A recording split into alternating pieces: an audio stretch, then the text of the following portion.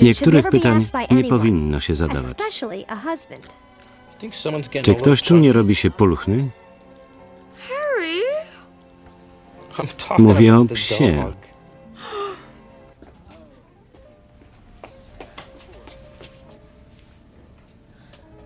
Elizabeth, Taylor przytyła pounds, 2 which, kilogramy, for a co dla psa, który ważył eight 4, pounds, wydaje się dużo.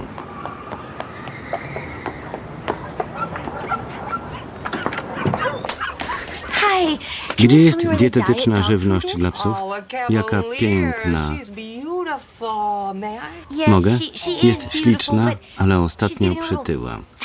Oh, Nie jest gruba. No to puszysta. No. Będzie miała szczeniaki. W skarbie? Więc Sunia będzie miała małe? Tak. Wszyscy dookoła zachodzą w ciążę, tylko nie ja. Przecież tego nie planowała. Nie musiała, zaszła od pierwszego razu. Może i pierwszy, ale time, z but ośmiema it psami. Kundlami. I będziemy musieli wychowywać jej unpedigreed potomstwo. Elizabeth, mamusia nie może na ciebie patrzeć.